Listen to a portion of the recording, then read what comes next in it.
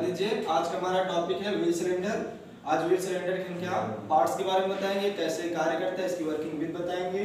इसके एक एक पार्ट के बारे में पूरा जानकारी देंगे और इसके इसके मेन पार्ट्सों का क्या क्या कार्य है ये कैसे वर्क करता है सारा कुछ बताएँगे। पहले हम क्या करते हैं पहले इसके एक एक पार्टों के बारे में जान लेते हैं। इसमें कौन कौन से कितने पार्ट होते हैं? तो ये ये हमारा ऐसा स्ट्रक्चर होता है। इसमें ये हमारा व्हील सिलेंडर है। ये पूरा हमारा व्हील सिलेंडर है। इसके अंदर दो पिस्टन होते हैं। एक ये और एक ये दो पिस्टन होते हैं, ये स्प्रिंग होती है और ये जो देख रहे हैं हमारा, ये रबर होती है। रबर कब बोलते हैं इसे? इसे क्या बोलते हैं? कप इसे रबर कप बोलते हैं। इसे रबर कप बोलते हैं। ये ऑयल होल होता है, जहाँ से ऑयल आता है। यहाँ पर जिससे पिस्टन फैलता है, फिर उसके बाद चिपक जाता है। ये हमारा डस्ट बूट है, जिसका मेन कार्य ये है कि इसमें धूल जो है अंदर न जाए नहीं, धूल जाएगी तो ये जाम हो जाएगा। इसमें जंग लग जाएगी, ये खराब हो जाएगा। इसलिए इसमें क्या होता है, इसमें डस्ट बूट लगाए होते हैं। दो डस्ट बूट होते हैं, एक इधर और एक इधर। ये हमारा जो पिस्टन होता है, ये ये ब्रिक्सों से अटैच होता है। जब ऑयल आता है ब्रेक फ्लूड आता है प्रेशर के साथ ये जो है हमारा पिस्टन दोनों तरफ़ ढकेलता है, दोनों पिस्टन को ढकेलता है, बाहर जाता है, जिससे ये पिस्टन का ये वाला जो है, ये ब्रेक शू से अटैच होता है तो ये क्या करता है स्पेंड कर देता है ब्रेक शू को फैला देता है, जिससे ब्रेक शू फैल के व्हील ड्रम को चिपका देते हैं। और जो है चिपक जाते हैं उससे ब्रेक लग जाती है। हमारा स्प्रिंग का कार्य क्या होता है? स्प्रिंग का कार्य होता है, पिस्टन जब, हम जब ब्रेक रिलीज़ करते हैं तो हमारे पिस्टनों को वापस लाता है। पिस्टनों को वापस लाता है। और ये देख रहे हैं, ये जो रबर कप रबर कप का कार्य क्या होता है? जो हमारा ब्रेक फ्लूड होता है, इसको ये लीक ना हो। इसलिए दोनों तरफ़। एक ये होता है, ये ये रबर कप होते हैं। स्प्रिंग का कार्य क्या है? ये वापस लाता है पिस्टन को। रबर कप का कार्य क्या होता है? ब्रेक फ्लूड बाहर ना जाए। और हमारा पिस्टन पिस्टन जो है, दबाव साथ जो है तो उससे अटैच होता है ब्रेक शू से। और डस्ट बूट का कार्य तो पता ही हो गया, डस्ट अंदर न जाए। नाम ही से पता चल रहा है डस्ट बूट और हमारा कुछ बचा नहीं है। ये हमारा है। ये ऑयल होल होता है बस। चलिए इसकी वर्किंग में देखते हैं कैसे कार्य करता है। जब हमने ब्रेक पैडल दबाया ब्रेक पैडल दबाया फोर्स लगा मास्टर सिलेंडर द्वारा ब्रेक फ्लूइड हमारे ब्रेक लाइन में आ गए ब्रेक लाइन से आने के बाद क्या आ गई? ये होल ऑयल होल दिख रहा है। इसके ज़रिए हमारे यहाँ पे आ गई। ऑयल जो है, हमारा यहाँ पर आ गया। सारा ऑयल यहाँ पे आ गया। तो ऑयल प्रेशर के साथ रहेगा, पूरा सील रहेगा। तो हमारा प्रेशर ये इधर को लगेगा। इधर को भी लगेगा इधर को भी लगेगा और ये इधर को भी लगेगा। चारों तरफ़ लगेगा पास्कल नियम का यही कहते हैं ना? दबाव चारों तरफ़ लगता है। द्रव को दाबते हैं तो चारों तरफ़ बराबर लगता है। तो जब इस पर दबाव लगेगा तो पिस्टन दोनों फैलेंगे। पिस्टन फैलेंगे पिस्टन जो है बाहर की ओर मूव करेंगे इधर इधर की ओर। ये जो दिख रहा है ये हिस्सा ये इसमें आके चिपक जाएगा और यहाँ पर। इधर की ओर थोड़ा निकलेगा और ये इधर की ओर। निकलेगा, फिर ये ब्रेक शू से जो अटैच होता है टच रहता है तो ब्रेक शू इसी से फैल जाते हैं एक्सपैंड हो जाते हैं और ब्रेक ड्रम में चिपक जाते हैं, जिससे हमारी ब्रेक लग जाती है। और रिलीज़ में क्या होता है, जैसे हमने रिलीज़ किया तो रिलीज़ में क्या प्रोसेस होता है? अब ये स्प्रिंग स्प्रिंग पिस्टनों को अपनी ओर थोड़ा खींचेगी और ये इधर इधर, ऐसे और फिर ये वापस चला जाएगा ब्रेक टू तो यही होती है इसकी वर्किंग किसी को कोई दिक्कत समझ में आया? आशा करते हैं सबको समझ में आया होगा। और इसका एक और प्रोसीजर होता है ब्लीडिंग कभी कभी क्या होता है लाइन में एयर आ जाती है। इसके लिए यहाँ पर एक स्क्रू होता है, पीछे साइड होता है इसके। पीछे साइड होता है, यहाँ पर ब्लीडिंग स्क्रू होता है। यहाँ पर। ये, जिसके द्वारा हम क्या करते हैं, दस नंबर या दस नंबर किसी तो उसको खोल के जो है ब्लीडिंग किया जाता है ब्रेक पैडल दाब दाब के। हेलो दोस्तों, आपने अभी थ्योरी की क्लास में व्हील सिलेंडर के बारे में पढ़ा, उसकी थ्योरी के बारे में जाना, उसके पार्ट्सों के बारे में बारे में जाना।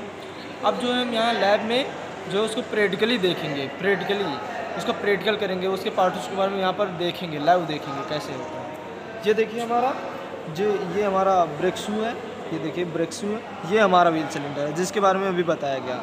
ये है, इसका कंस्ट्रक्शन अभी वहाँ उसमें कंस्ट्रक्शन देखा था, अब लाइव देखेंगे। ठीक है, दोस्तों अब हम जो है खोलते हैं इसको।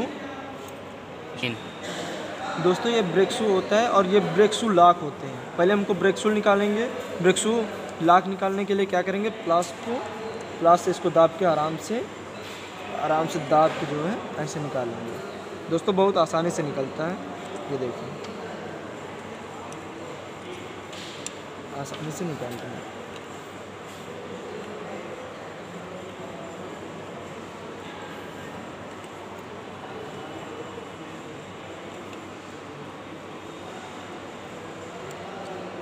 चलिए दोस्तों, ये लाग निकल गया अब क्या करते हैं? अब शू को निकालते हैं।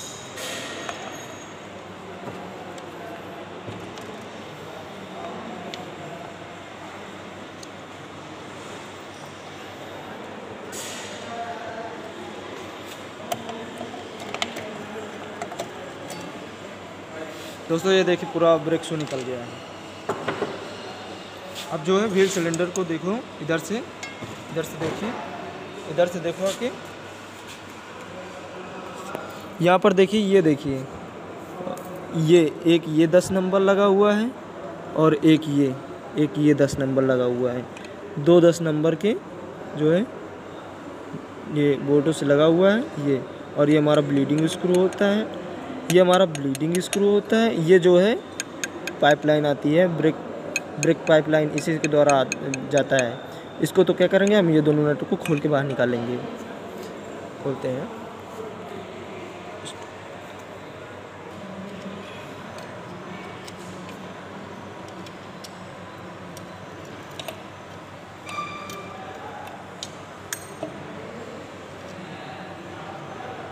ये देख ये देखिए दोस्तों, मैंने खोल के बाहर निकाल लिया। अब इसको हम खोलते हैं।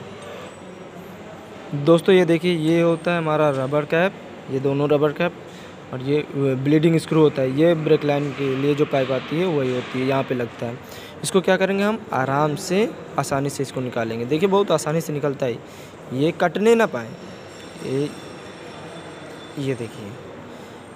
ये निकल गया। ये देखिए, एक ये पिस्टन निकला हमारा। ये पिस्टन है, देख लीजिए ध्यान से। एक ये पिस्टन होता है और एक जो है हमारा, ये ये दूसरा पिस्टन देखिए। इसमें दो पिस्टन होते थे। हमने थ्योरी क्लास में बताया था, एक ये पिस्टन है, एक ये पिस्टन है। इसमें देखिएगा, ये ये हमारा रबर कप होता है और ये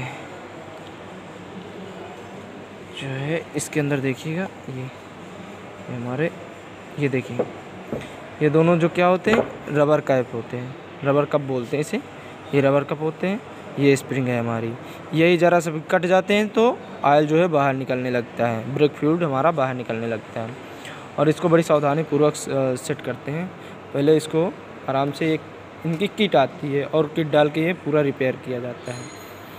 दोस्तों देखिए मैंने इसको पूरी तरीके से डिसमेंटल कर दिया। एक एक पार्ट बाहर हो गए। ये हमारा व्हील सिलेंडर हो गया। ये ब्लीडिंग स्क्रू ये हमारे दो पिस्टन हो गए। ये हमारी स्प्रिंग हो गई। ये हमारा रबर कैप हो गया। ये हमारे डस्ट बूट हो गए। अब जो है हम इसको क्या करेंगे? असम्बल कैसे करते हैं, इसको बताते हैं। दोस्तों, ये देखिए, पूरी असम्बली ऐसे होती है हमारी। ये घूमा करती है ऐसे। ये जो है, ऐसे घूमा करता है। और जो, जब ये हम क्या करते हैं, जो ये पिस्टन फैलता है, इसमें आती, जब इसमें वो आता है ब्रेक फ्लूड तो ये ऐसे पिस्टन ये जो है, ये देखिए, ये जो है, इधर जाम हो जाती है। और ये ये देखिए, ये जाम हो गया। ब्रेक लग गई हमारा। ये देखिए ब्रेक लग गई है।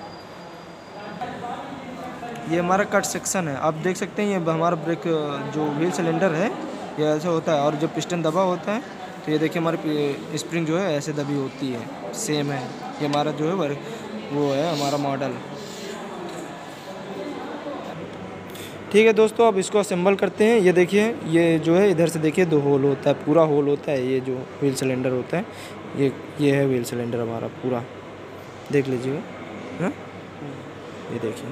अब इसको क्या करते हैं हम? असेंबल करते हैं। ठीक है, अब सब पार्टों को क्या करेंगे? बढ़िया साफ़ कर लेंगे। अच्छी तरीके से।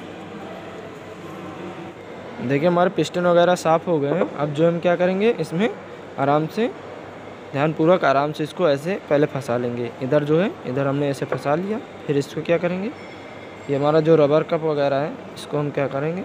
आराम से, ऐसे, देखिए, आराम से ऐसे हम्म, इसको आराम से सावधानी पूर्वक डालें ये कहीं मुड़े उड़े ना। नहीं तो ये लीक कर जाएगा समझ लीजिएगा। इसको आराम से ये देखिए प्रेस कर दिया। ये। और ये अब दुआ दूसरा पिस्टन जो है इसको हम ऐसे दाब देंगे आराम से। ये देखिए ये देखिए हमारा पिस्टन बाकायदा चल रहा है। अब इसको हम जो है रबर ये डस्ट बूट जो होता है इसको हम आराम से इसमें फंसा देंगे। हाथों की सहायता से ही आराम से फंसा देंगे हाँ। ये देखिए। इसको इधर इधर फंसा देंगे। ठीक है दोस्तों, अब क्या करेंगे इसको, जैसे हमने निकाला था वापस सावधानी पूर्वक जो है हम इसको आसानी से सेट, फिर वापस जो है फिट कर देते हैं। दोस्तों, वीडियो अच्छी लगी हो तो लाइक, शेयर और कमेंट ज़रूर करें। यदि आपको किसी टॉपिक में कंफ्यूजन है और किसी टॉपिक के बारे में आप जानना चाहते हैं तो कमेंट बॉक्स में ज़रूर बताएँ। मैं प्रयास करूँगा जल्द से जल्द उस टॉपिक पर वीडियो बनाऊँ और उस पर अपलोड करूँ। Thank you